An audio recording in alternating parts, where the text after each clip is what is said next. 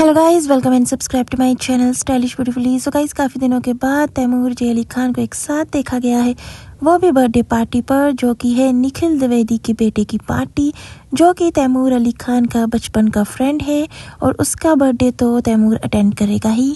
तैमूर और जे अली खान के साथ उनकी तीन तीन नैनीज और स्टाफ मेंबर आए और साथ में काफ़ी ज़्यादा गिफ्ट्स भी लाए हैं। पहले भी तैमूर और जी अली खान ने लास्ट बर्थडे पार्टी अटेंड की थी रितेश और जनेलिया देशमुख के बेटे की बर्थडे पार्टी जैसे अब सब जानते हो कि अभी पेंडेमिक हर जगह कम हुआ है कोविड केसेस कम है। मुंबई में भी तो अभी काफ़ी ज़्यादा बर्थडे पार्टीज़ हो रही हैं, क्योंकि लास्ट टू ईयर से पेंडेमिक होने की वजह से कोई बर्थडे पार्टी नहीं हुई थी। और अभी अभी तो तैमूर अली खान ने भी अपनी सिक्स ग्रैंड बर्थडे सेलिब्रेशन की थी।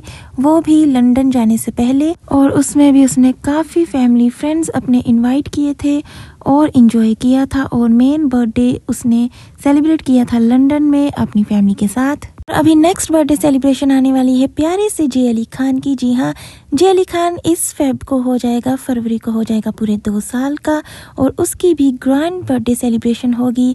करीना कपूर खान ऐसे ही बर्थडे सेलिब्रेट करेगी जे अली खान का।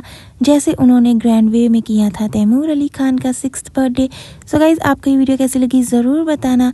Thank you for watching guys and stay safe bye